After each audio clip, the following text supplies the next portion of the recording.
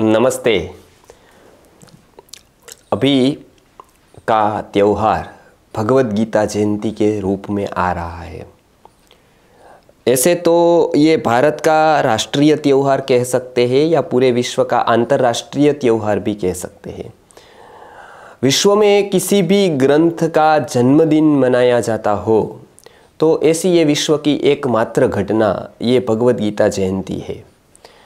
कोई पुरुष, महापुरुष के जन्मदिन पर हम कुछ उत्सव मनाते हैं, महापुरुषों के जन्मदिन पर। लेकिन कोई ग्रंथ के जन्मदिन हो, ऐसी भगवत गीता जयंती, ये पहला और अंतिम ऐसी प्रासंगिकता है, ऐसी घटना है। तो गीता में ऐसा क्या है कि जो पूरे विश्व को आकर्षित करता है? जैसे जैसे विश्व आगे बढ़ता जाता है, ऐसे ही ये ग्रंथ का सार तत्व ये ग्रंथ की उपयोगिता, ये ग्रंथ का महात्म्य समझ में आता है। तो इसके लिए उसको एक ढंग से, एक विशिष्ट दृष्टि से पढ़ना ज़रूरी होता है और शुरुआत से लेकर अंत तक गुरुकुल परंपरा में इसका अध्ययन होता है परंपरानुगत। उसको एक विज्ञान की दृष्टि से कैसे प्रेजेंट किया जाए, उसके लिए संस्कृत आर्य गुरुकुलम खास करके वर्षों से प्रयत्नशील है। गुरुवर्य ने अपने प्रवचनों में भगवत गीता का कितनी बार उल्लेख किया है। संस्कृत आर्य गुरुकुलम के बच्चों को गीता कंठस्थ करना वो भी शुद्ध रूप में। वो अनिवार्य होता है।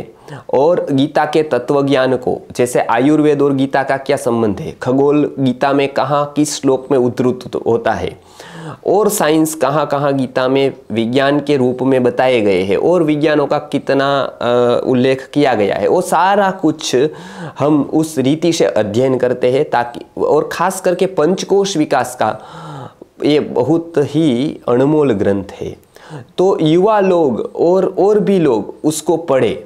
उस हेतु से हर बार की तरह इस बार भी हमने भगवत गीता जयंती पर एक प्रतियोगिता का आयोजन किया है कंपटीशन का आयोजन किया है।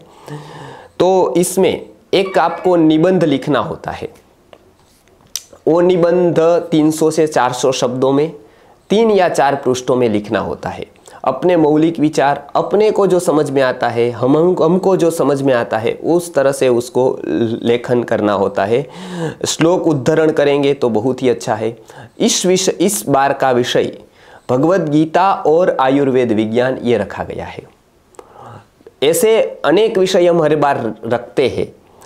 जैसे भगवत गीता जीवन का विज्ञान भगवत गीता में विविध विज्ञानों का समन्वय। तो इस बार भगवत गीता और आयुर्वेद विज्ञान ये विषय रखा गया है। वो विषय को लेकर भगवत गीता का परिचय भगवत गीता की पृष्ठभू पृष्ठभूमि भगवत गीता में कहे गए अध्यायों में कहे गए विषयों के जानकारी, आयुर्वेद जीवन का विज्ञान है। उसी तरह से गीता भी जीवन का विज्ञान है। तो दोनों में क्या साम्य है? दोनों मन के ऊपर भार देते हैं, दोनों सदवृत्त का पालन करने को बता रहे हैं, दोनों मनुष्य जीवन की कृतार्थता को ज्ञापित करते हैं। ऐसे बहुत सारे विषय जो गीता में और आयुर्वेद में समान रूप से है। तो दोनों का हम कंपेरेटिव स्टडी कर सके, दोनों को जान सके, दोनों आज विश्व फलक पर है। गीता तो पहले से है, कोरोना के कारण आयुर्वेद का भी ज्ञात महत्व ज्ञात हुआ सबको। तो ये दोनों को हम स्टडी करके, दोनों का अभ्यास करके, हम बहुत ही अच्छा समन्वय कर सकते हैं आयुर्वेद का और भगवत गीता का। इस हेतु हमने ये स्पर्धा का आयोजन किया है। स्पर्धकों में कहीं से भी भारत में कोई भी कोने से स्पर्धक किसी भी उम्र का हो, वो भाग ले सकता है। किस तरह से भाग लेने के लिए प्रोसेस करें? तो सबसे पहले हमारी वेबसाइट पर जाए संस्कृति गुरुकुलम डॉट कॉम पर, जो लिखा है डिस्क्रिप्शन में, उसमें गूगल फॉर्म दिया है, उसको आप भरें और अपने निबंध को लिख कर स्वहस्ताक्षर के या टाइप करके लिख कर उसके साथ अपलोड कर दे। गूगल फॉर्म में ही अपना नाम पता, जो जो जो जो गूगल फॉर्म में माहिती हम लेंगे, वो। जिसके जिसके निबंध हमको उचित लगेंगे, आकर्षक लगेंगे, माहितीप्रद लगेंगे। उनको पहले नंबर को पाँच हज़ार, दूसरे नंबर को तीन हज़ार, तीसरे नंबर को हज़ार, ऐसे और आश्वासन इनाम एक एक हज़ार के लगभग आठ, दस, ऐसे ही करके ये एक पुरस्कार के रूप में हम इसको देने वाले हैं। तो कहीं से भी आप निबंध लगकर इसको भेज सकते हैं। पुरस्कार के लिए गीता नहीं है, लेकिन लोगों को एक प्रोत्साहन मिले। युवा वर्ग इस बहाने भी गीता को खोले और हम भी कुछ अपनी संस्था की ओर से गीता की सेवा कर सके। जैसे क्रिश्चियनिटी है वो आज बाइबल के लिए कितना करते हैं। आज युवा लोग चौदह चौदह साल का कोर्स होता है, वहाँ उन्हें पुणे में एक संस्था है। वो छोड़कर केवल बाइबल के लिए अपना जीवन समर्पण करके वो यहाँ पर आ जाते हैं, प्रचार करने के लिए भारत में। गीता के लिए हम इतना तो कर ही सकते हैं तो आप अवश्य ही गूगल फॉर्म पर अपना जो निबंध लिखकर अपलोड करें गूगल फॉर्म भरें और ज़्यादा माहिती के लिए नीचे दिए गए नंबरों पर संपर्क भी कर सकते हैं। जैसा आए आप ऐसे निबंध लिखने की कोशिश करें और इस बार शुरुआत करें तो उस बहाने भी हम गीतामय रह सकते हैं एक महीने तक, क्योंकि ये मार्गशीर्ष का महीना अभी शुरू होगा। तो उस बहाने भी हम गीता को पढ़ सकते हैं, रोज अध्ययन कर सकते हैं, गीता का स्वाध्याय कर सकते हैं और समझ सकते हैं।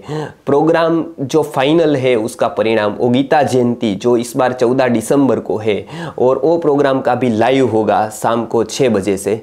तो वो भी गीता की अंत्याक्षरी और संस्कृत यार्य गुरुकुलम के विद्यार्थी वहाँ पर कार्यक्रम करेंगे, वो भी आप लाइव देख सकते हैं। तो इस कार्यक्रम को सफल बनाने के लिए आप ज़्यादा से ज़्यादा संख्या में गीता के ऊपर निबंध लिखें और यहाँ पर जो है वो सह इस तरह से ये मूवमेंट को आगे बढ़ाए और भी अपने मित्रों को और जो जो आयुर्वेद कॉलेज है, खास करके आयुर्वेद के विद्यार्थी है, वो तो मैं उसको अनुरोध करता हूँ कि वो भी खास इसमें हिस्सा ले ताकि वो आयुर्वेद का वर्णन गीता में कैसा है, ताकि वैद्य इसको एक अलग तरीके से, एक अलग दृष्टि से भगवत गीता को समझ सके और आयुर्वेद को भी हम एक तत्वज्ञान के रूप में समझ सके। तो इस तरह से हम रोज़ गीता का स्वाध्याय करें, आयुर्वेद का भी स्वाध्याय करें और एक अलग दृष्टि से गीता को देखने का प्रयत्न करें। नमस्कार, जय धन्वंतरी।